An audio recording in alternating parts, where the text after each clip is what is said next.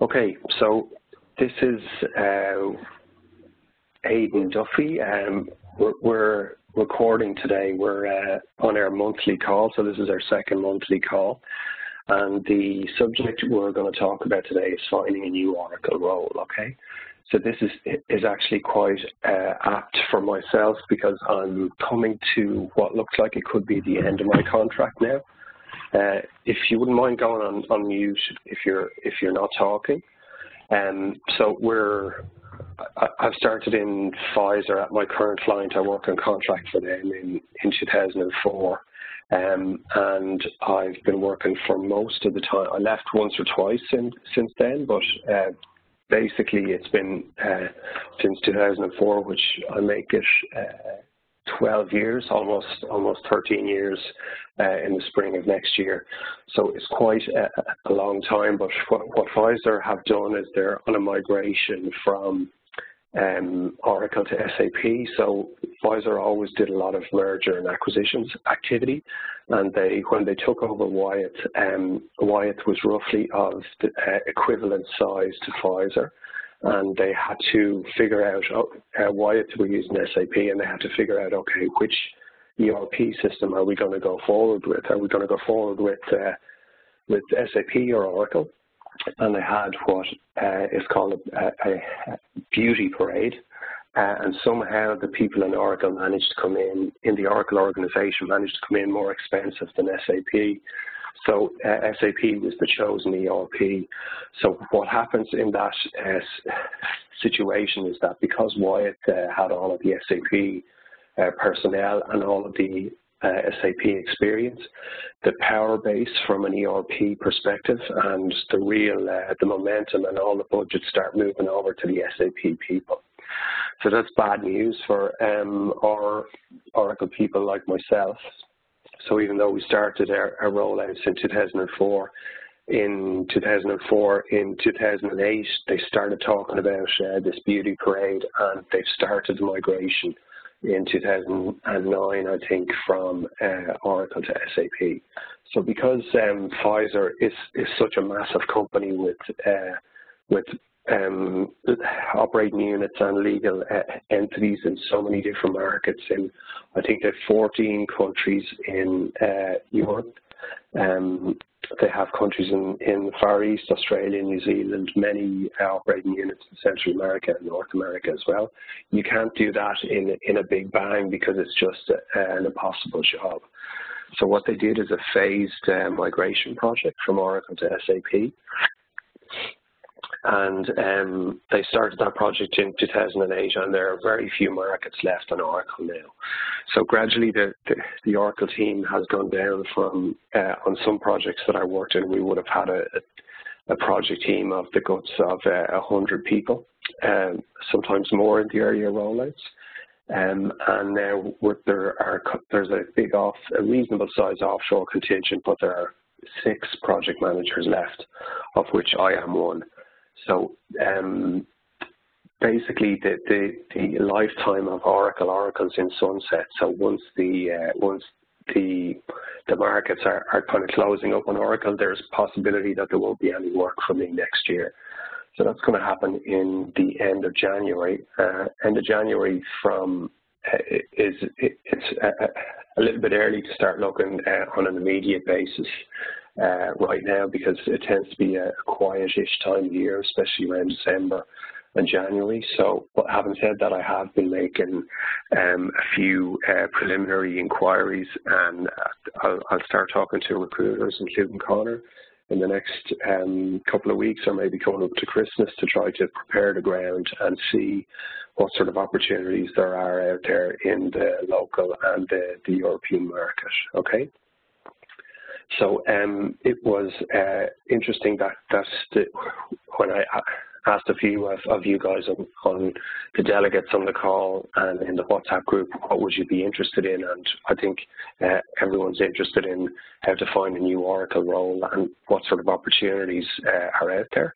And so it's it, it's a good subject uh, for the monthly call. And what I plan to do is talk a little bit about what I've done as part of my job search Um, it's slightly different from uh, some of you. I know some of you are not in the Oracle uh, functional area yet, but the at a high level, kind of the steps are the same.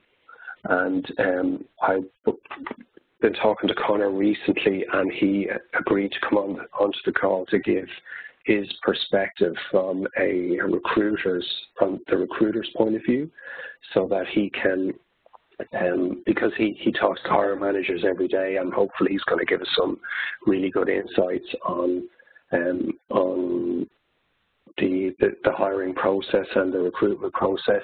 He also provided a couple of job specifications that we can go through and we'll, um, we'll take it from there, okay? Sounds good. Looking forward to it. Okay. Yeah, so um, the first thing I wanted to talk about was uh, confidence, okay? So any change requires uh, confidence and basically what, what, we need to do when we're when we're going uh, to a new role is to kind of figure out okay um, how am I going to make the jump to to um, to this new role and what's that going to, to take from, from my perspective. So I, I just wanted to show you this uh, slide deck from my own coaching course. So I'm in a business coaching course where I, I, I work out the, the best way to um, the best way to kind of to communicate with people. It's a, it's a coaching course, so I'm being coached. I go to London uh, one day in a quarter, and they present a number of knowledge tools that I that I'm licensed basically to to talk to you guys about as well. And what they're big on is that um, is this four C's of personal confidence, and it's something that uh, I've been able to implement myself. I look back over a couple of um, over the, the decisions and the jumps that I've made in, in my own career. And what I find it really useful is that it's a, a good framework for thinking about, okay, how do I map? How do I make the change and uh, what are the stages of those change? Because speaking personally, if I have a framework or, or a plan to kind of work to and I know what's going to happen, I generally feel a lot more comfortable about going through the, the current stage. So the first stage might be commitment, and uh, I guess bef before we start, in general terms about confidence, I, I, think confidence is is the single most important kind of ability that we have as as human beings. We need confidence to go into a new situation, and uh, I think all other abilities sort of build on confidence as a as a foundation, and that the belief, uh, my belief, it's originally from the program, but uh, through practice myself, is that individuals with an ability to generate those confidence can learn anything, adjust anything, and can accomplish anything. So some of you on the call might be uh, interested in, in kind of making a change in your situation. I know there are people who are outside functional at the moment and to, to actually make the change it looks simple from the outside but it actually it requires confidence uh, uh, internally from the, the person who's making the change point of view. So what, I guess what I find and thinking back myself is that people say that I, I would change, but I don't feel confident, and that I'd have to feel confident before I'd look for an Oracle functional role. But the, or that I look for an Oracle role when I feel confident, or I'll take a risk when I feel confident. But it, it, actually works the other way around. You have to make the commitment yourself. And the commitment might be, I want to get an Oracle functional role. And then you got to go through this, this courage stage. So the courage stage might involve picking up the phone and talking to a recruiter about having no functional experience but wanting to get into a functional job. Um, and and it's, uh, I guess it's, it, it's, it's broadly speaking equivalent to, it, feels a bit like a burn. So it, it's your ability to go through the courage stages to kind of work through the burn, working your, your mental muscles to, to make the switch from the old situation to the, to the new situation.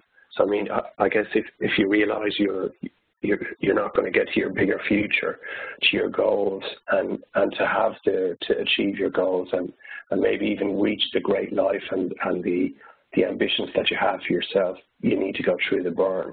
So if you're work, if you're willing to go through this courage stage, and not hurt yourself and, and don't kind of don't set massively high expectations but keep keep going uh, pretty soon you're you're kind of not so sore anymore. You've made the small uh, leaps in confidence to, to to get you towards that next stage. And then, so uh, after you've after you've kind of you are going through the courage stage, what you develop then is capabilities. So your capability may be that you understand how to talk to recruiters about Oracle roles. You know what to say to them. You're starting to develop some industry knowledge of of what's of what is uh, required for functional roles, let's say, and you're you're building up your capabilities about how to talk to hiring managers, how to do interviews, etc. And then once you've so you, uh, once you've gone through the capability stage, then you actually have confidence. So you say, right, now I have the confidence. I know I can get an Oracle functional role. I've made the commitment up front. I've gone through the courage stage of picking up the phone and, and uh, putting my head above the, the parapet and saying, okay, I now am interested in these functional roles. I'm, I'm willing to go for them. Then you develop the capability about uh, actually working out what you need to talk to recruiters about. And um, finally, you get to the confidence. And then once you actually, once you get to the confidence stage, then you sort of reach a plateau and you're, what you, are able to do then is, start again and build up another goal, make recommit to a higher goal, and then start again. So what I I know I've discussed this uh, a couple of times in the coaching calls with you guys, but I really recommend that you have a think about this. It, look back on a, a, a, situation where, where you've made a jump in the past, where your first thing is actually something's eating away at you, and you need to make a commitment to make your situation better. And that's the commitment stage. Then stage two is the courage stage. And stage two is where you have to, it's slightly uncomfortable. You've got to raise your hand for tasks where you maybe don't have the skills right now. You've got to have conversations with people you don't know. And then you build a capability. So slowly over time, courage turns into capability. And after that, you are, actually at a new level of personal confidence.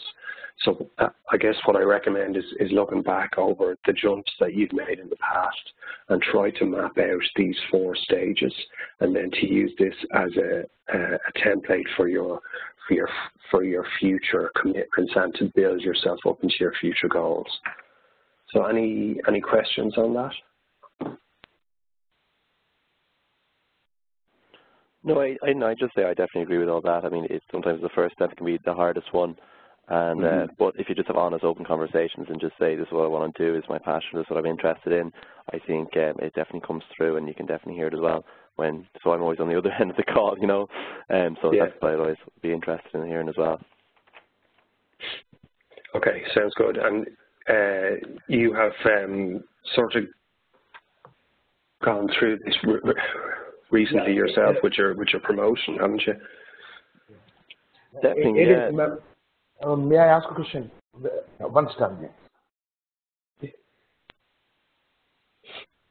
Okay, Conor, go ahead. Yeah, no, I mean, um, it's just just relating to my own my own job. I recently got promoted, and I had to do a nice uh, presentation and do all these things, and um, just very open on the conversation, saying, look, this is what I need to work on, you know. And that was actually my first slide, and uh, then also saying this is my strength and kind of talk about that as well. You know, going for a new job it can be tricky, but you have to remember, like, that's what you want to do. And you got to go forward with it. And you know, I got a, a lot of no's before I got a yes for this promotion. So that's kind of that's kind of part mm -hmm. of the mm-hmm. job as well. So um, yeah, I thought I thought the, the, the what you're talking about there was very relevant. And it's not just like Oracle function jobs; it's any job really. I think was quite good. Okay, sounds good. So um, I see your your guys' questions. Um, yeah. Uh, go ahead, Shastri. Yeah, Aidan, uh, it's a it's a nice uh, for, still now I was thinking about four C's about Oracle, but uh, today I came to know about four C's about personal confidence.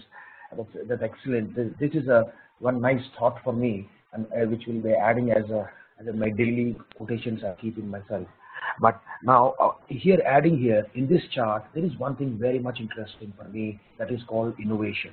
Now, innovation is a term.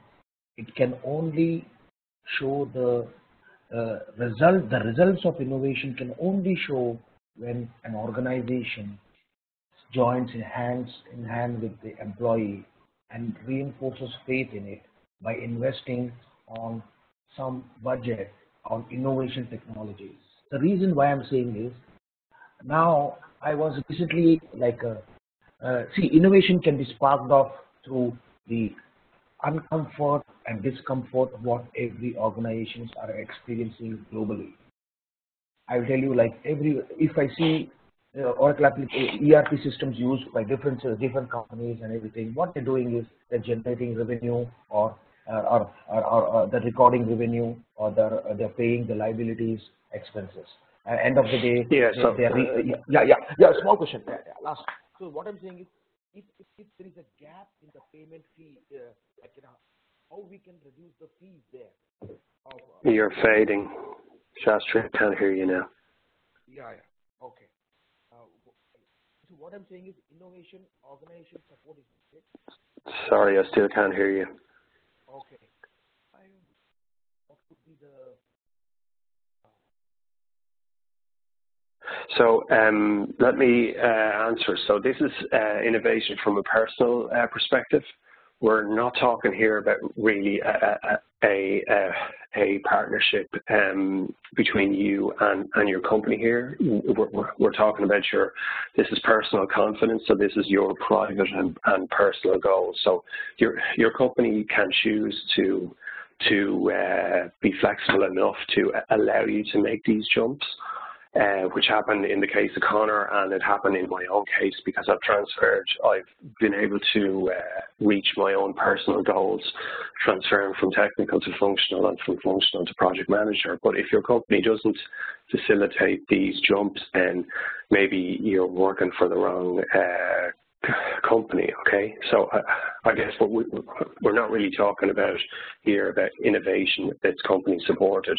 We're talking about personal innovation. Like if you want to, to get into functional and you're coming from the user area, then you need to figure out uh, from an innovation perspective, what's what's the functional job about? How, where do I fit in in the functional role, and and uh, and um, what, what sort of uh, what sort of benefits um, can I bring to the functional role? So that, that's what I mean by innovation uh, in this circumstance, okay? So, uh, Yemi, you have a question. Do you, will I read it out or? So the question is, is for Conor. So what steps and approach is best suited? Uh, Conor, I think you, you can see it there, can you?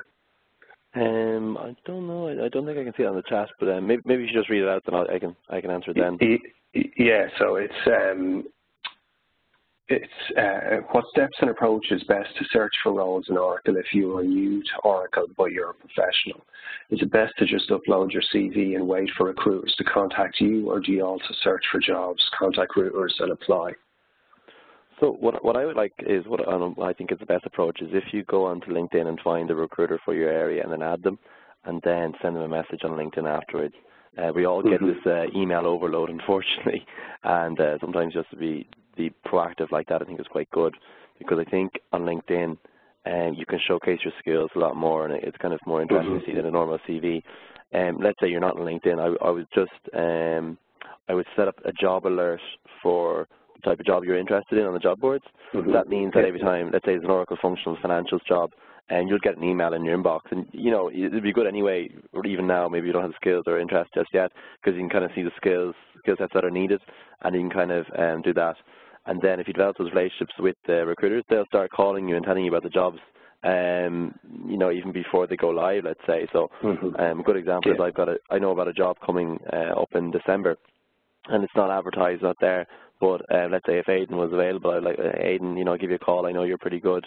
Um, we have a relationship. It's like, what about this job? Like, so what what would be good is if you do send a CV, make sure all the information's on there as well. Um, I maybe I can talk about that later in the call, or I can talk about now, like what's kind of good to put in a CV. But just to summarize, best approach would be so add the recruiters on LinkedIn, and they'll put up their jobs on LinkedIn. If you don't kind of if you don't use LinkedIn too much, maybe uh, I'd say send an email and just say, look, I'm interested. I want to develop a relationship, and then have a really good CV attached as well. That's what I would go about it. And sorry, and set up the job alert. And yeah, that's probably the best way I'd approach it. Okay, sounds good. We'll talk. Thank you. Go ahead. No, that the uh, Conor's actually answered my question. So yeah, thank you. Good, you're welcome. Okay, good. So uh, let's move back then to the main deck. Uh, just give me a sec now.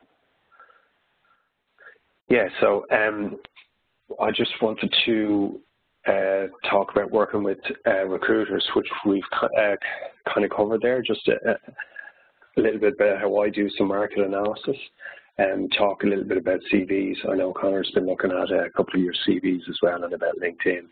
Um, I wanted to, to just talk a little bit about how I analyze opportunities because sometimes you can have a can, candidate stuff or opportunities to go for. It can be difficult to figure out. And then Shastri wanted to present uh, some uh, documents on implementing process manufacturing and discrete uh, manufacturing modules. So we'll, we'll keep going. I think I want to try to finish at four or a quarter past if I can. So um, I think from a, a, functional consulting opportunities, the reason we're, we're on the call is because we're interested in functional consulting. So um, I won't go, go through this in, in too much detail. For me, it's, it's why I trans, transferred into functional from technicals because they're better opportunities. You're facing the business.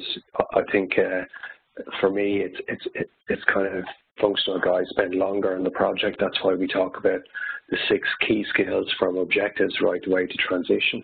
And the I think the salaries are probably higher in general for functional than technical because you've got that business and the customer face and responsibility. If you want to travel for work, you can. I did a lot of travel earlier on in my career, and I'm less interested in that now, but there's certainly opportunities to, to go and see the world and see your definitely your regional areas. I did a year in Amsterdam, I did a year in Prague, I did a year and a half in in Brussels and time in Portugal and Switzerland and Germany. So I've um, if you have a an element of an interest in travel or a travel bug, then why not do it when you're actually doing when you're working as well. So the other uh, opportunity is that you have the opportunity to work for yourself. I think uh, Functional has been very good for me uh, in that way. I've been self-employed now since 99, so it, it's kind of all I know uh, how to do at this point, but it's, it's a great opportunity from that point of view as well. Then from an outsourceable point of view, if you're doing technical work, I think it's it's it's more much more straightforward that your role would be outsourced speaking from my own personal experience, Pfizer had uh, 40, I think, technical guys at the start of the project. And uh, I was one of those, and I was rolled off because I wasn't really able to position myself properly. And out of those 40, there's only two guys left. I'm sitting beside one, and I'm now functional and actually a project manager now. So I think uh, that's the way the market is going, is that um, as a functional person, you're much less likely to be outsourced. And for those of you in uh, in India, etc., I mean, I think it's a, a, goal for many people there to migrate to US or to Europe to work. So it's just to, to kind of recap on the opportunities that we have. So uh, working with recruiters, I mean, um, I think Conor sort of uh, summarized it there. I guess from just to add from my own perspective, how to find a recruiter is to, as Conor said, if you're really brand new to the market, it can be difficult to figure out who the uh, reputable recruiters are in the market. So what I'd love yeah, is to go the good ones. Right. Yeah, the good yeah. ones are hard to find. Yeah, there's a lot of bad as well. this is true. Yeah, I mean, from from the recruiter's perspective, you. Uh, by now I know when I'm talking to a recruiter if they understand what the Oracle market is about or not. And they, from the, the, recruiter's own perspective, sometimes they're thrown in their Java recruiters and they're thrown into Oracle areas. So they're, they're, they're just doing their best themselves as well. So it isn't always their fault, but if possible, it's obviously be better to work at, to work with someone who understands the Oracle market, let's say. So what I do is I go to the job boards and I'd have a look look at the recruiters that keep popping up, set up your job alerts so that you can and keep a record of the local the recruiters for your area who understand the market. And then do as Conor says, sort of introduce yourself on LinkedIn make sure your LinkedIn profile is up to date and uh, just say, I'm interested in the, in the market in general. May not be ready right now, but uh, it would be great to, to catch up at some stage. So recruiters, I, I mean, Conor could speak to this as well, but they'll have a number of immediate opportunities, but they, they're also interested in developing their their medium-term pipeline of, uh, of passive candidates, people who may not be willing to move right now, but who could be a great opportunity for a particular type of client in the future. No, definitely there, nail, nail on the head. Like, I mean, um, you know, you want to work with good people, and uh, you know, good people are always busy or in demand. You know, um, mm -hmm. so you kind of want to build it long term, and, and, there's a few different things there I'd advise the guys to do, but maybe I'll, I'll go I'll go through that later as well. But I thought that was quite good there. Okay.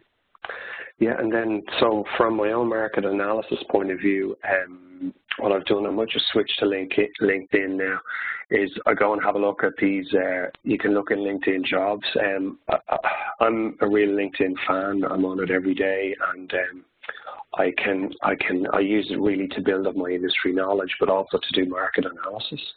So this is in Ireland, obviously you can run this for your local area but I've just done Oracle Functional Analyst and I can see four jobs, so and they're all from Morgan McKinley, so they're uh, obviously um, these guys have a couple of roles, uh, so I can figure out what kind of jobs are out there, let's say.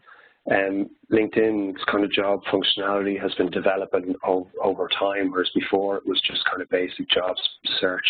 Now you can apply and you can save and uh, because I've been building up my network for a long time, uh, if I want to, if I was particularly interested in this job, let's say, I could approach the connections that I have there. So these are recruitment people who are building their network by inviting me. And uh, one of the benefits of that is that uh, I can see them as a connection. And if I was interested in this job, I could approach them directly and, and sort of um, without just applying blindly, let's say. So this is one of the ways that I do market analysis in uh, within LinkedIn. The second way, I'm not sure if you've seen, is that I can see um, uh, about who's publishing new posts. Uh, the other thing I could see is that if a person who's in my network moves to a new client, so if I know an Oracle EBS functional guy, even if I'm out of touch with them, which is the, the best thing about LinkedIn is that you don't have to be mailing people every five minutes uh, or, or even um, even once a month is that you can see when they're moving around. So and if an Oracle functional guy that I know moves to a new client, immediately that's a lead for me because now I know, let's say I'm going to finish in January. So if someone starts at a new client, I can, it's, it's, it's a great opportunity to get back in touch and meet them for a coffee and ask them what kind of opportunities are there in uh, in that client. So the, the it, it, would be very difficult to stay in touch with everyone that you've ever worked with, um, to to kind of to keep those relationships going. But LinkedIn, you can sort of do that automatically, and that's uh, that was part of the market analysis that I did. So secondly, then um, I've been doing some, you, can do some company searches as well, and as I said, just on the connections as well to kind of figure out where, how, where people are moving to, and that's a good indication that a project's starting, yeah. Then we talked about job, job boards, so the one I, I have been using since I started in consulting is JobServe, but there are various different um, boards that will be more relevant for your area. I know in the US Monster is a good one. Um, it's kind of a case of for the keywords that you're searching for to sort of uh, to, to suck it and see and, and sort of figure out what kind of traffic in terms of jobs are going on to job boards. Um, if I just re refer to Conor's point earlier, recruiters are, for me, they're my sales partner because as an IT person, number one, I'm doing my job. Uh, so I'm, I'm quite busy and even though I enjoy the networking and stuff, to work with a recruiter and to find, to find and develop a relationship with recruiter could last, which could, could last over your entire career is a, is a task well worth doing because recruiter will kind of know, they'll definitely know more about the market than you. They'll, um, they'll know kind of what your skills are, where you might fit, fit in, and that's why I really recommend finding out, um, using job boards maybe as a backup, but to contacting your two or three recruiters in your local area that you've built up the relationship with and that you feel will represent you best, okay? So then um, the other thing, the, the, other ways that I do market analysis then is that Oracle user group events. So we had uh, Seth and Conor attended an Oracle user group event uh, last week, and it's it was the news from Oracle, Oracle Open World, um, and uh, I guess this is a in the Oracle uh, events the local Dublin events, we'll have a, an Oracle e-business suite track. So basically I'll spend the day in that room and I'll talk to the speakers and I'll kind of have a look around and try and figure out who people are. Everyone has a badge, so it, it's it's not unheard of to walk around, have a look at pe people's badges, write the names down, go look them up on LinkedIn if you don't want to uh, approach them directly. And most people are friendly. They're at a conference. They want to to network, and um, and this is a, a, really useful way of kind of building up your market knowledge on which clients have uh, Oracle EBS, and therefore, again, these are a source of leads for you. Um, the other one then that I found is useful is that we, we have our first Oracle uh, meetup group. It's started relatively recently. Um, and I think it's it's kind of indicative of the way that the recruitment landscape is changing. It's becoming more social now.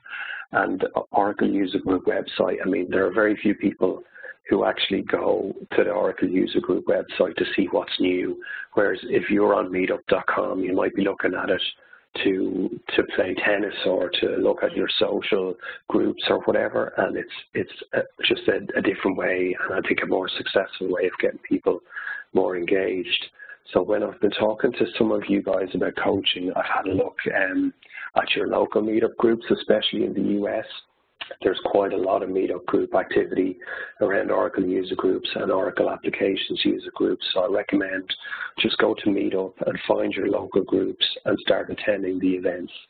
So what you, what you, you need to do is to kind of build up your own profile to sort of figure out what the market's about, who the players are, who the companies are, who the industry, who the successful Oracle people are in the industry. And the best way to do that is to go to the meetup events and to to kind of uh, to to figure out what's going on. Um, Conor, I think you, you, that that's worked out well for you as well, really, hasn't it, to get involved in the local Oracle community? No, definitely. I, I like going because um, usually kind of the best um, candidates would be very interested in technology and things that are happening and they don't really stand still. So people like to those events, the kind of people I want to work with. And sometimes you go and you say, people are like, oh, I'm just going with a friend or I'm just here to find out a little bit of information about this. And you have a chat with them and then, you know, next time you're talking on the phone or your your email and it's like, oh, it's actually, you know, a bit of relationship built up and that helps. Yeah. And it's, it's a two-way street. Um, so they, they you know, the, the, the person applying for the job or wants to work with you will know you a little bit better and you'll know them better as well. So, and yeah, mm -hmm. a bit of mm-hmm. fun as well, usually, you know, a bit of crack. So you can always kind of yeah. get to know people. Yeah, sounds good. Yeah, I mean, um, uh, there's often a social uh, um, uh, aspect as well. So I guess um,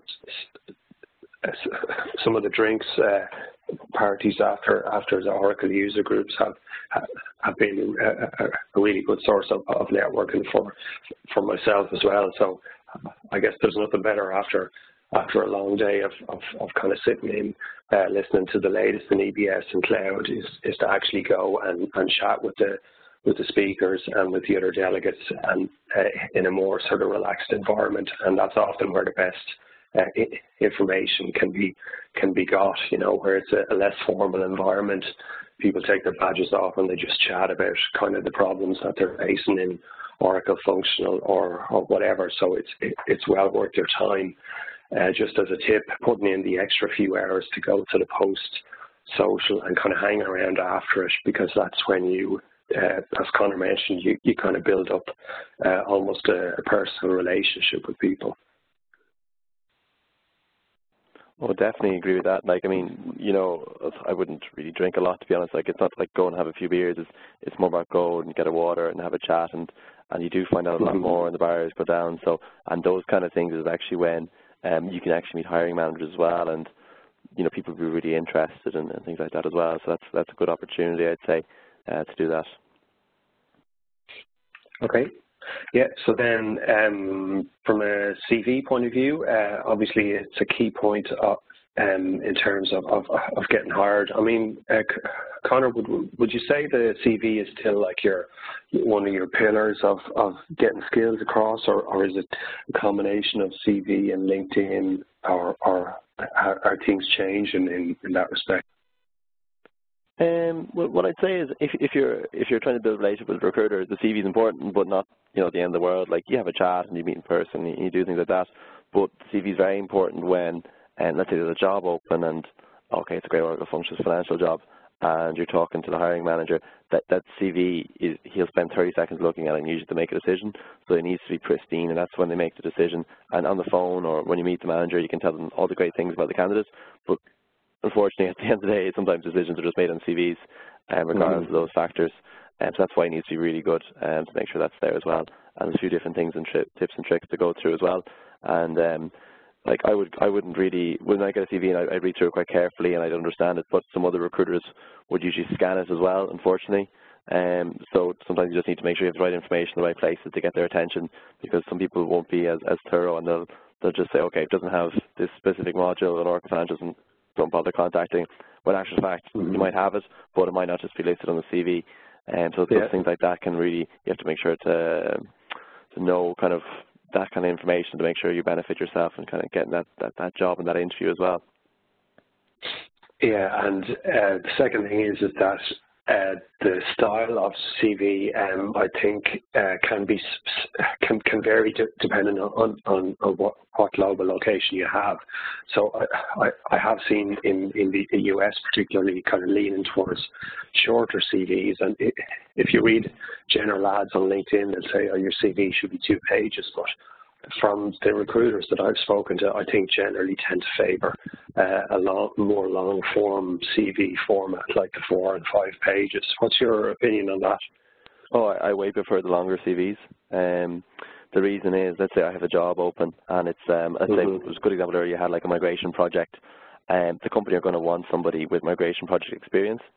And if I go to, you know, I've got, let's say, a few candidates here, and I've got 10 CVs, and okay, I've talked to these guys, and and I can read through the CV then. I'm like, okay, this guy, candidate A, did migration project here, did migration project here. That means um, that she or he is going to be the best fit for that job.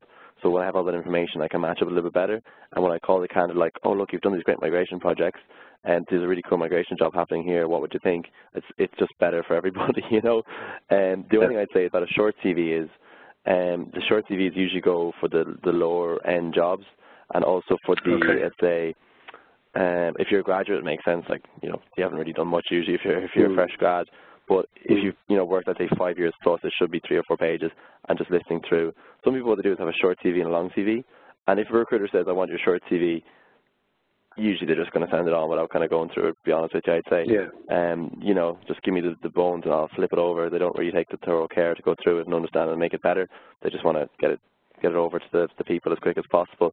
So I don't think with Oracle Functionals financials, like they'd be more higher end jobs. And uh, if you mm. put a bit of time into the CV, you're going to get a better response uh, from, okay. from everyone in general.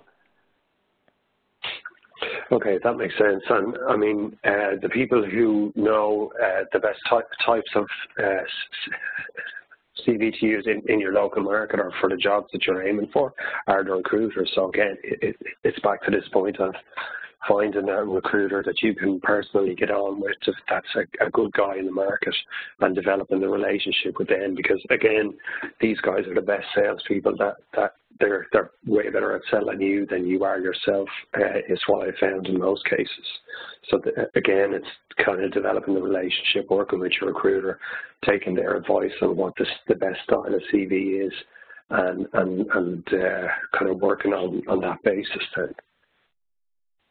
So um, one, oh, sorry. Yeah.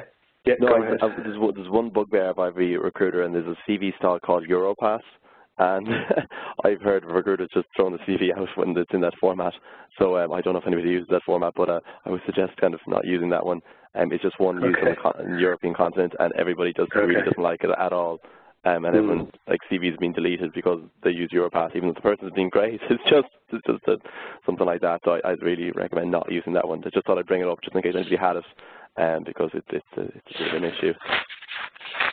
Okay, sounds good. Uh, those of you who I've done the, the coaching with, so one of the things that we concentrate on the coaching is, uh, first of all, working out what, what your three-year goals are, are going to be. So you, you should be thinking about your CV from that perspective. Does your CV say, these are the types of roles that I'm interested in. These are the ones that I'm I'm I'm, I'm uh, kind of aiming for, and this is my personal interest, my area of passion in Oracle, let's say. And the other thing you've got to figure out is what are my strengths. So again, from people who've done the coaching, we've kind of we've drilled down on, on kind of what your top three strengths are. And again, this should come through in your CV because if your if your if your CV, your LinkedIn profile, and your your your kind of your preparation for an interview are, are congruent, as in they all kind of reflect the same thing, you will come across as a strong candidate. You'll come across as someone that knows what they're talking about. And it's just, don't forget to update your CV to kind of, you may have written it many years ago. I'm sort of guilty uh, of that myself because I've been at Pfizer so long to review your CV in terms of what are your strengths, what if they've picked up stuff in the last couple of years, uh, that's, that's kind of interesting. Have you incorporated that in your CV and your LinkedIn profile? So, uh, Conor, you wrote a very um, uh, interesting LinkedIn post about five ways to improve your CV in 15 minutes. Uh, maybe you could just relate those uh, those kind of five ways, and we'll, we'll we'll carry on from there. Yeah, sure. So, um, you know, a lot of it, there's five points, and I'm sure I can send the article on afterwards, and it'll all be there. And I did a video about it as well. Um, but it, it's mostly kind of stuff. Everyone's like, oh yeah, it's so obvious. But um, stuff like Arial font, um, 10, 11, 12 kind of size as well. Um, that's pretty key. Um, check the spelling. Now, sometimes what happens is people uh, format the CVs um, and they write it in English, and but they do it in Word, but maybe they're in you know China or something. So when they check the Word, it doesn't always work out the right way. Um, so you need to make sure that that um, you know that you do check that. That's really important be honest, sometimes when people, like one of the two spellings spellings happens to everybody, but if it's more than that, um, it just looks kind of unfortunately careless. And I've had hiring managers saying, I'm not into that person because based on the what mm -hmm. they've written on the CV because it's misspellings or bad grammar or things like that. Mm -hmm. Now, appreciate, you know, it can be tricky to do that, so I'd always get, say get a friend to look it over. That's the recruiter usually actually it's a good idea. Like I'd always check that really thoroughly as well and make sure it's well formatted uh, as well. And sometimes people kind of decide they want a really different CV. So a good example is actually in, there's an area called front-end development, developing UI, and they always do their CVs very differently, and they're cool. Yeah. But in Oracle Financial Functional, usually it's just like, like I send CV template afterwards, you don't need to you know, change the world or put in any pictures or kind of cool graphics. You just have the information there as well. It'd be good. I appreciate some guys are also uh, maybe coming from abroad, and I'd always say your visa situation, uh, because sometimes that can be kind of tricky because sometimes like look we can only have people coming from a certain area but if you're from abroad and you really want to move to Ireland I would put that in there. And um, I would also say stuff like look I appreciate I'm coming from a different country and I need a visa sponsorship and I'm really interested and I can be flexible in terms of um, showing you my value and, and things like that I put in the CV as well. Um, because I, I have I know loads of good guys uh, from abroad, unfortunately, just can't sometimes get them a job because of the visa. But if you're going for the local area ones, you should be fine. But if you're going to Europe or America, um, and you're coming from somewhere, somewhere like Asia, it can be kind of tricky. Um, mm -hmm. Other other tips. What did I what I have written down? Oh yeah, there's a there's a way you can. So when you write a word, let's say like a technology. So if you wrote down e-business, that's actually in the English language dictionary. So you need to add it. That removes the squiggle underneath. It's a really small thing. But if you think about information you get, if it's a load of you know red lines underneath things, you don't usually uh, think positively. So I'd say that would be a good thing to do as well. Um, like I said, four or five pages, kind of talked about that earlier. Uh, good project examples. I'm always interested in project examples. Usually, a lot of my job is actually matching up projects from candidates. That's what I'm really interested mm -hmm. in. Um, put all the information on, so things like contact details, so phone numbers, um, email addresses, actually phone numbers is an interesting one. So if you're, let's say, based in uh, Brazil and you're applying for a job in the US, if you can possibly get a US cell phone number, that would be really good because um, a lot of people sometimes just discard CVs when they see the the, the phone code not being local. Um, it's a really small thing. Like you can have the phone number there, and you might not use it, or you might not have the cell. But usually you can get these like cheap pay-as-you-go ones. Even you can get them on the post. I think if you go online, um, they have quite good, that's be quite a good idea. Obviously the address as well, you know, it could be kind of tricky, but if you if you do the phone number, it's the first step. And um, references as well. Usually I, I look if when people have like their names and phone numbers listed in the in the CV, I'm like, oh, this is a good person. Like they're really confident in the references. Uh, that's really good sign of quality work. So I always like that as well. Um, because usually people say like uh, reference available on request, and usually you do need them in the end anyway. But if people put it down straight away in the CV, I'm like that's a good plus mm -hmm. sign for me anyway, because um, mm -hmm. as I said, you can see that work. Um, I'm trying to think that's it. Yeah, that's about it. I'd say really. Um, oh, sorry, yeah, a skills summary at the top. That's really good as well. Yeah. So sometimes people put down, um, you know, I'm 15 years work at Oracle Financials Functional, and working with these modules. But what actually sometimes happens is you've worked with these three modules for 10 years and these two other modules for five years or whatever. So mm-hmm. you're really strong in one or two areas, or in some other areas you've, you've got some niche skills as well. So I would showcase that at the top, uh, because sometimes if you're reading a CV, you're like, oh, I don't know if they're an expert at supply chain management or financials. Well, I don't know what area they're really into or what area of model the mm-hmm. experience is in. Because if you just put it down, I've worked in these modules, then it can be kind of hard. Well, you call them and ask them, but uh, it's probably better for everybody. I don't want to call somebody like, hey, here's a supply chain job. Like, well, I used it for six months, ten years ago. Mm. That's not really, you know, yeah. always relevant. Um, so that's what I, I'd recommend that as well. And I always have to see like this list of skills and the year's experience, and then sometimes people might put down like, oh, I worked on this project with a skill. That's really cool. That's really good. Because then if you, you know, if I have let's say a greenfield project, and you've got on your CV, you've got I've worked with um, Oracle Business. Um, say Oracle HR. I've worked at Oracle HR in a greenfield project, and um, I did it for two years. I'm like, bingo, like that's the right person for this job. And when I call a person, it's like it's really warm because I'm like, look, this is a really good experience matching this job, and usually they're kind of interested as well. So that's a good way to be able to match up those things. I appreciate not everyone might have Oracle Business Functional experience from the get-go, but if you do list your other skills there as well, and something like project management, or I managed an e-business project, or I um, worked on developing a, a project. That's the kind of stuff I would suggest as well. And I have a CV template. I'll, I'll send it to Aidan, and you guys uh, you want to as well. And it's kind of all those bits and pieces I talked about there. It's already laid out in it. So basically, if you have a current CV and you just you can just take all the information and type it out or transfer it over, let's say, and then format it. It's all formatted correctly.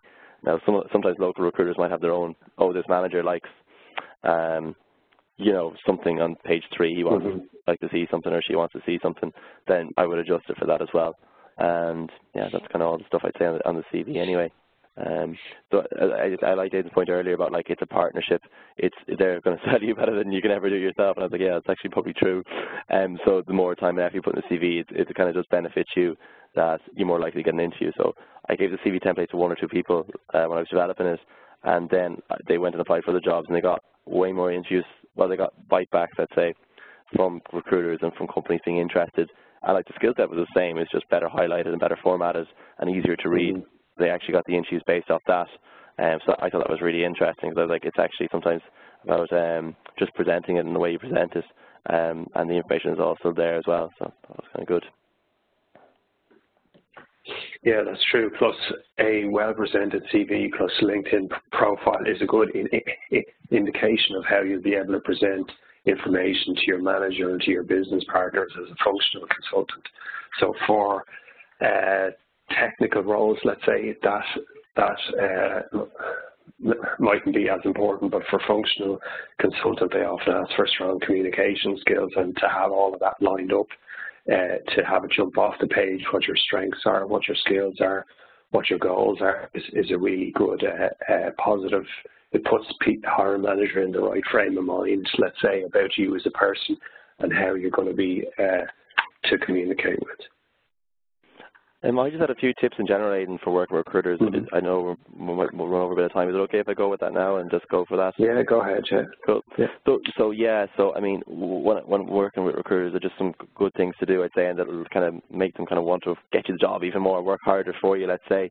Is um, just as first thing is just be very honest as well. So some people would say, um, "Oh, I'm, I'm, I'm." Uh, going for your job and I'm really interested and you're okay here's the interview like no I'm actually not, I'm actually that interested that that's very frustrating um, because you've managed it well and got that I know people are busy and change their minds but if you highlight all those things up front to be better uh, if you're going away or going traveling yeah just say that you know some people wouldn't mention that but I think that's important to know as well um, you know I, and just be just be honest with what you want to do and what, what you want to say as well um, sometimes people get frustrated with recruiters because they don't hear back from them.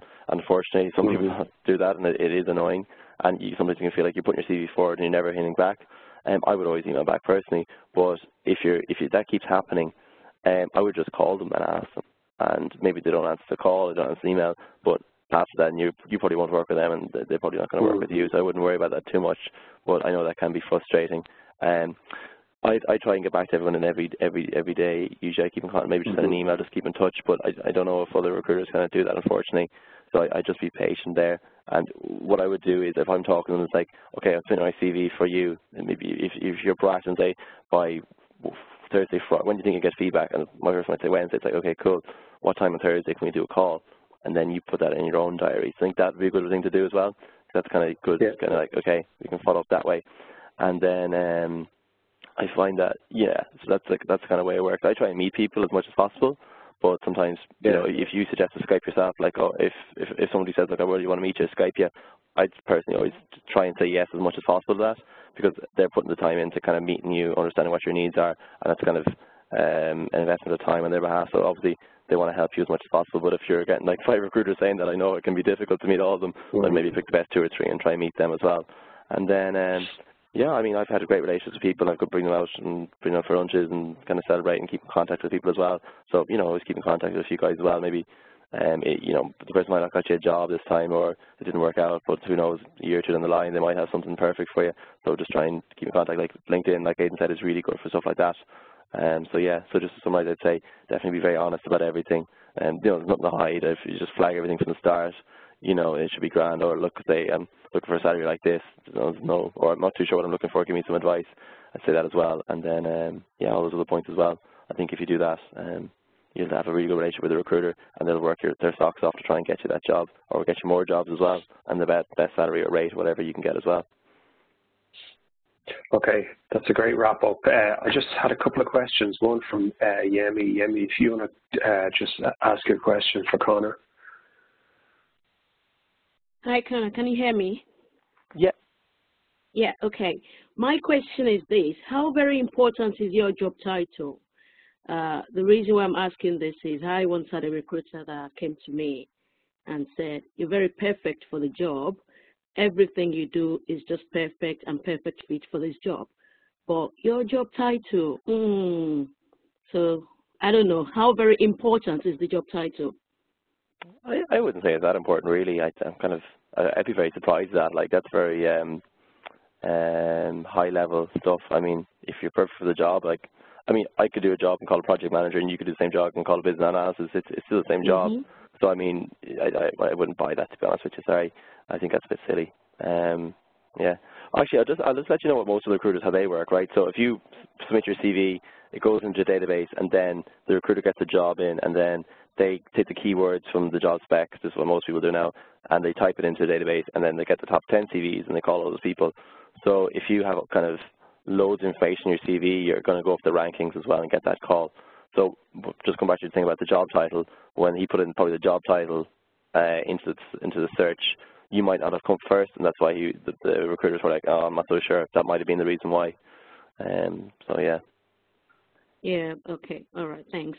Uh, uh, because one of the reasons why I'm asking is this, I work as an application analyst, and Mhm. even though I work more with the Oracle side of things, but I once got a job which was for defects manager, and the guy was like, you're very perfect for the job because that's what I do most times. Uh, in my day-to-day job, I am most likely fixing defects uh, for projects and upgrade and things like that but my job title is application analyst. So, and I'm like, how am I going to work around this?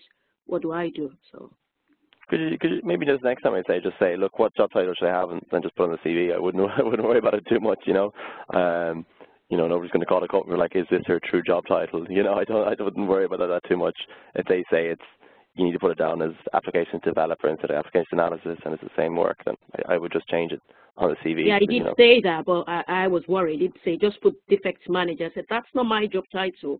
What happens if a reference is being, you know, sought from my current employer? And they said, no, because I've had that before. They will tell you what's this person's job title. So that's why I'm being very careful about that. No, maybe the best thing for you to then it would be to, if you're talking to a recruiter, like, yeah, I want to go forward for this job, and I want to look at my CV, and in terms of job title, what do you think I should put down? And then whatever they suggest, I, I'd maybe go for that. Um, Okay. Because they might, they might know the hiring manager. Like that's sometimes happens. Like they have the little quirks. Oh, I'd never hire an analyst for a developer position, where in reality it's the same job. So, you know, that's why you just got to kind of build a relationship and they'll give you that information because they want to get you the job as well.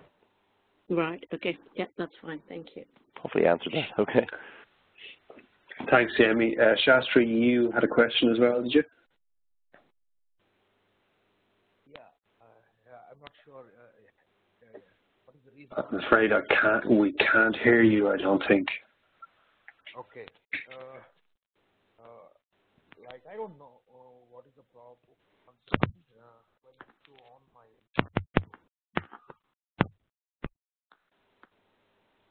Do you want to maybe type out the question and then maybe Aidan can read it out? Um, and then I can, hopefully if you guys can hear us, then you can go through that way. Yeah. So uh, while I wait for uh, Shastri to uh, type the question in, um, I see a couple Yes, more yes. people have joined. Yeah, yeah, yeah. Okay. I think I, I think I sent uh, my question. Uh, By WhatsApp. Yeah. That one, will- if that is if that is addressed later. Well, let's go for that now. So uh, we were talking about uh, remote jobs. So uh, Conor, have you seen any uh, remote jobs to, to, to work from home? I mean, I, I think with the with the the more flexibility and, and working from home, this is something the candidates are are particularly interested in. Have you seen a, a movement towards that, or, or are clients open towards that that working remotely? Uh, definitely, yeah. Um, so what would I think in the Irish? Microphone is off, Ruby. Shastri, could you be able to go on mute? No, no we definitely can hear you. um, yeah, so in the Irish market, we're seeing a lot of um, jobs being outsourced, and that's one of the trends. Another trend would be definitely more remote working. So I think, though, there's a kind of a bit of a misconception that remote working is full-time remote working. That's that's very mm. difficult to get unless you've been in a company for a while. Someone like Aidan, who you know has a, has a lot of trust from Pfizer, and they understand how good he is. Um, but usually it'd be like it might start off like one day a week. Um, a lot of people might have families as well, and they want to be there for their kids, and completely get that. Or if they're traveling, you know, from somewhere to work, they're doing Monday to Friday during the week, so they want a day at home. And that most companies are very open to doing that. Um, during the initial like month or two, they probably wouldn't be, just so you build up the relationship and the trust. A good example, actually, in our company, we have a guy here. He he actually lives three hours away, and he Oh, in right. most area he's working three hours away. He spends two days in the office here, and Yeah. every week, and then in six months he'll be full time out. So it won't be in the office at all, and just be phone calls. So companies are Oh, doing things like that, and in the IT Yeah. sector, that's going to happen more and more. Um, we were talking to companies and they're talking about skill shortages, and they're saying, I was saying, like, if you want to get better candidates, if you're more flexible remote working, like even one day a week, they're they're really interested. So I think one of the issues is that the security on their databases and security on their Yeah. on their systems in general is is only improving now. So I think we'll see definitely 2017 will be a more push towards that, um, doing that, and then people can log on at home and do their thing. And like like look us now, we're all in different countries doing different things, but um, you know we can all dial in and do things. So yeah, definitely very good. But if you're going to a recruiter, um, I would say you know you just tell them like okay, I, working from home is a is a deal breaker for me, and that's really important. And just flag that at the very first. Don't wait the whole interview and then at the very end be like, oh, okay, Yeah, yeah. take offer me the job, go back and ask for Mhm. homework, and I, I wouldn't do that. Mhm. I think that would uh, that would uh, sour some relationships there. So I would I would Mhm. more go for that. And if you say, look, I, I need a day a week, or two days a week, or three days a week, just say that as well. I think that would work out well for everybody. Okay, that sounds good. I think that's what uh, Shastri is saying is that he, he sees opportunities on uh, for for support being being pushed to offshore, and in fact actually got an offer to work for a UK company permanent as a support person.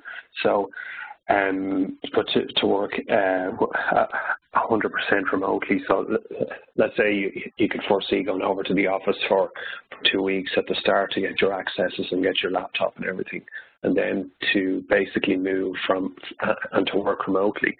So uh, that was the first one that, that I'd seen, but um, I think it's an uh, indication of, of, of the, the, the way the, mar- the market's going.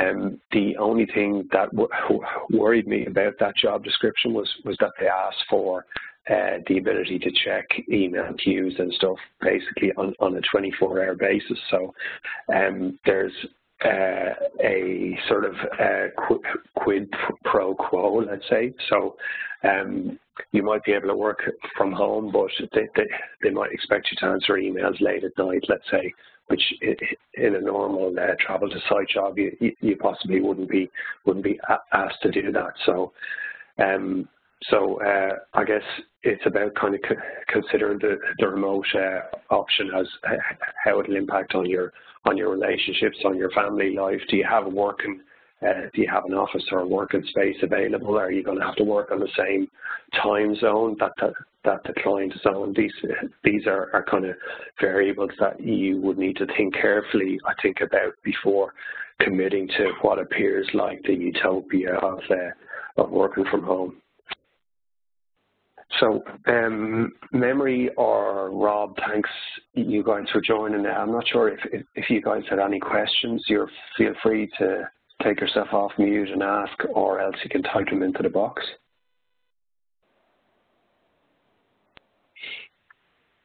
Uh, in the meantime, Shastri, you can try again if if you like. Yeah, uh, I think the remote option I mentioned it is in terms of project management, not with respect to uh, database access. Uh, probably that is the future where it, it, that is a potential which is being seen. And uh, that article I was reading it, and probably I was just trying to know uh, your opinion, and uh, that's all on that. So I was considering the uh, project management as a possible potential options. Yeah, I mean, um, I guess to, to all eh, to all intents and purposes, I am an offshore or a remote project manager because for the last number of years, I haven't, I've not done any travel since 2012. And because I work with US clients, they never ask me to go so far to the US. So it, essentially it is an offshore project management role. So I have a development team that work in India and I talk to them every day and they work my GMT, they work my hours six until three o'clock. And then, so in the mornings I work with those guys, and in the afternoons then I work with the US uh, people who are on the East Coast. So um, I will work with them between lunchtime and around five or six. So, I mean, um, I guess it, it it is possible because, uh, I mean, uh, we, we have people on this call from various places in the US and from India and uh, and from all over the place. So there, there isn't anything to, to stop you doing project manager management on, on a remote basis. So yeah, I, I think it's it's it's definitely possible, and that's it, these are the kind of roles that I, I would be interested in. So, um, Memory or Rob, any questions from you guys? Yeah, actually, how's it going? It's Rob. Hey, Rob. Hey, uh, hey. Um, I was I was going to ask you. Um, oh, I, I, have a primarily support back, background, Oracle support, fin financials, and I just was wondering um, my approach if you know they, they see you as uh, if I'm going for an upgrade or implementation, it's uh, it's seems like it's kind of hard to, to go that route if you've been doing you know uh, one thing for a while. I mean, I started off as in the business side, and then went over to, to support. But I was just wondering if my if there is a, a good approach to switching So I mean, um, what I did when I switched was I switched from uh, from technical to functional, and what I what, what, we're trying to do in the course is to is to figure out what the skills are in your target area. So if there's six key functional skills of objectives, requirements, design, build, test, and transition, you've got to figure out which ones of those six key skills in your target area, whatever that job is, what are the key skills in that area and which ones of those do I have already and as my strengths. So if that's three or two out of those key skills in the target job, let's say for instance it's a functional job, then you kind of work on building and expanding your, uh, sorry, refreshing your memory on, on instances where you've worked in, in those six key skills. And then you, you go to your you're honest, I think, with the recruiter, with in your CV and in your LinkedIn, and you say, right, I understand functional requires these six key skills. Not all projects do. These are the ones that I'm strong in. This is the areas where you could really depend on me for a functional role, and then sort of work on on, on that basis. So that's what I did. Was I I was open when I moved from technical to functional. I said I'm I'm more of a, a, design and a build guy, which is two of the key skills. I had a little bit of test as well. And the first role that I had was kind of built around built around those those kind of key skills. So while, while I had problems in the other skill in the other areas, I was still able to survive because I had my cornerstone skills. So it's kind of working out what your strengths are, uh, knowing what the target the target jobs key skills that are required and being able to identify instances from your past or from your experience and being able to sort of emphasize those. Does that make sense? Yeah, yeah, that, definitely. Okay, great. Thank you. Okay. Yeah, I mean, uh, it seems we've got a, a couple of people who, who, who do support. I know Shastri works in, in support um, memory, did did you have any questions, or are you, you happy enough with uh, with what's been discussed so far? Maybe we've we've sort of covered your questions already. It's just a good uh, uh opportunity to have when we have Conor on the call. I sent in, a, I typed you the question that I have.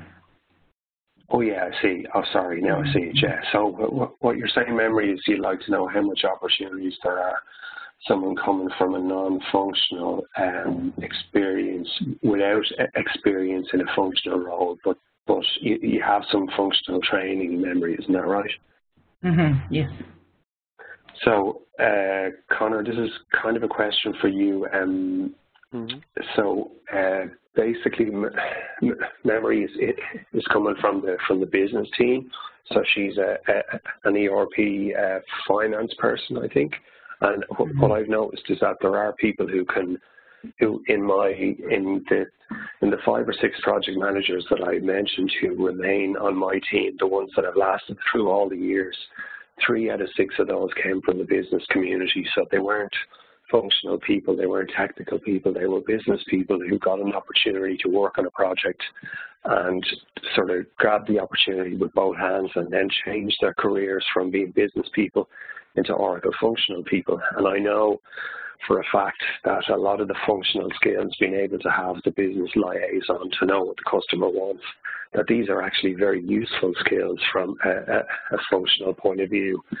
So uh, I guess, I mean, Conor, would you have a, I mean, have you seen that before where, where people transfer in from from the business into sort of functional roles, kind of leaning on their on their business experience and, and making that jump. No, definitely, completely. That happens all the time. I, I was just thinking the other day, like, you know, no, no, not many children go, out, oh, I really want to, you know, work with Oracle business. is usually something sometimes people just fall into by accident. They're mm-hmm. interested in IT, they join a company, they they work with Oracle. That's sometimes usually what happens. There's a few kind of backgrounds that they do quite well with Oracle Functional, and it's mostly kind of accountants or people working in finance and seem to really enjoy Oracle Financial Functions because they would use the software at the start and, you know, they'd use kind of um, AORP or something like that and they develop, get more interested in how it's all developing in the background and kind of get into that way and they're saying, oh, we need someone with business user experience. So sometimes I get demands from hiring hiring managers and companies saying, we want to work with functional financials or we want, mm -hmm. let's say, supply chain, but we want somebody who used to be an accountant and used to be a business user as well. And actually, yeah that means that those candidates with it, with that pass is actually going to, they're going to be a lot stronger and they get paid a bit extra for that as well, um, because there's not as many of those people there that have kind of followed through and kind of done all the training and things like that. Um, like you made a good point earlier when you said functional jobs are definitely um, better paid, I think, than definitely than developer jobs. And developers would sometimes just be coders that go into coding specifically for e-business, but the functional guys or the functional kind of people would be more um, kind of yeah business people really, and then go into it. It's not yeah. It's, it's all usually it's never the coders change into the functional people. Usually it's the business people going to functional. Yeah, that's true. I mean, um, me, me personally, because I, I transferred from technical into functional, out of the six key skills, the business skills are my weakest skills. I, I, I find there are conversations around finance that I have with with with business users as a functional person where I, I often come out of the meeting going, I wish I understood a bit more about finance and uh, the the uh, accounting aspects of finance, let's say, because it would make me a lot better at my job. And what business people don't realize is that the actual the advantages that they have coming into the functional role memory are significant for in for the parts of a project which require liaison with the business and uh, customer facing because you, with your knowledge of processes, you will understand the language that people are talking about. You're going to get it, you're going to get and understand what they're talking about far easier than a guy who's moved in from technical to functional, let's say. And that's, I have had problems in the past with that understanding parts of processes. And you, it's, it's, it, the business people often don't realize how, how powerful and how useful they can be on projects because they have this business background. Uh, I think if we, if you remember at the start of the call, we looked at a couple of uh, of roles on LinkedIn, and one, at least one or two of them mentioned you have to be a qualified accountant. And there are no Oracle technical people that are qualified accountants. It just doesn't happen. So they come from the business, basically.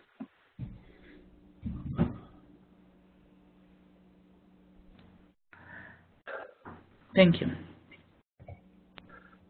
Okay. Uh, memory, you're um, asking as well about what are the e-business training courses required prior to the functional scale. So, Conor, this is something that um, you might be able to provide your uh, opinion on. I mean, in in terms of training, do do people look for, do hiring managers look for business training courses? I mean, or do, do they look for for certifications? Is that just for people who maybe are on the junior experience side, or how does that all how does that all work together? Yeah, no, um, so what happens usually is, let's say there's a new product brought out, like Oracle Fusion or Oracle Cloud or something like this, and you know nobody's really used it, but there's a new project coming up. If you get certified in that, that's really good because that means you'll probably get the job. Be realistic with you. Um, so if you identify an area like something like cloud, like I know Aidan's really interested mm -hmm. in that, and you get certified, you know there's only like maybe two or three guys in Ireland, just just a good example, um, who can do that. So you probably get that uh, to invest in that. If you're if you're a junior or let's say you're working in a different type of job and you're like, you know, our finance is functional, I'm really interested. Um, I would recommend getting a certification. Um, uh, probably I think there's one from Oracle University. I don't know. Probably Aidan knows a bit more than I would about that. Or doing the training actually with Aidan is good as well, um, because you know the, there's not many entry level jobs um, in Oracle Financial Functional that are just like, okay, you know, you've got 10 years of, of something like here, yeah, let's, let's go for that. They're more likely probably go for the fresh grad because they can train them in.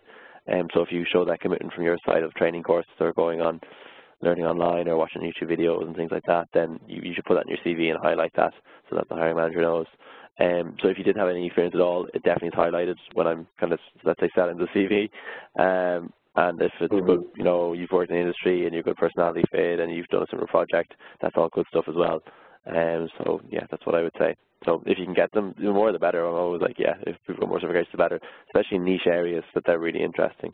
So if you got like a certification in like Oracle HR, that's really interesting because um, you know, not a lot of people have that. And if it's an Oracle HR mm -hmm. project, you know, that's you're like top of the list then, you know, straight away. So that's kind of cool. Okay, sounds good. Any more questions then?